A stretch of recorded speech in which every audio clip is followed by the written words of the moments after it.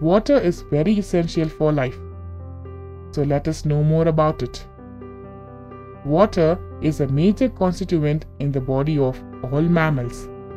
The proportion of water in the lean body mass, that is the mass of the body fat content, is constant at around 71 to 78% in animals, including human beings.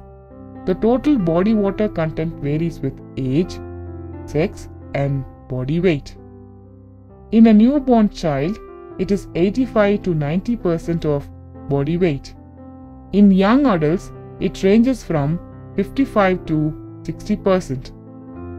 Of the total body water, about two thirds is found as intracellular fluid, that is ICF, and one third as extracellular fluid, that is ECF.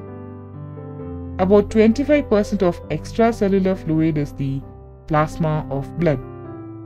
The body water content is kept constant by maintaining a proper balance between water intake and loss. Intake of water happens through drinking of water and beverages, water in the food consumed, and water generated during metabolism.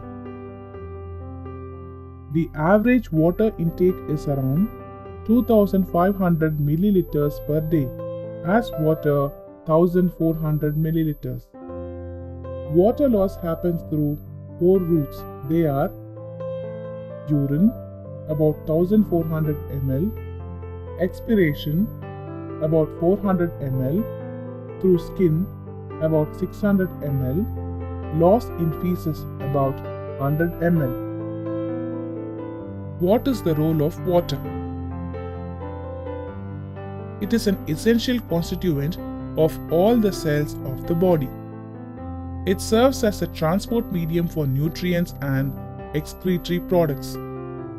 Water serves as a site for chemical reactions. It is a valuable solvent for electrolytes, enzymes, hormones, and vitamins. Water plays a vital role in the maintenance of body temperature. It helps to maintain form and texture of tissues.